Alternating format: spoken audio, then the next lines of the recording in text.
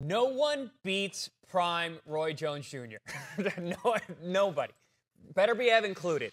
Roy, I, I, think Roy stops him early.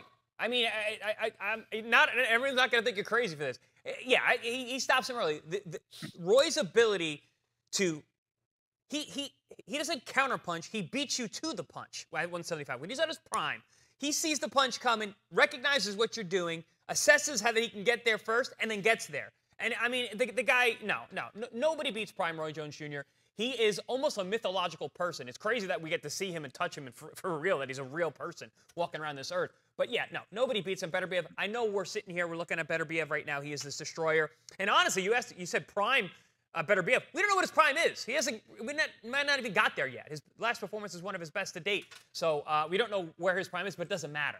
Roy is transcended being a real person. He is a myth. Great. He is a legend. Great. It's Roy All right, you're trying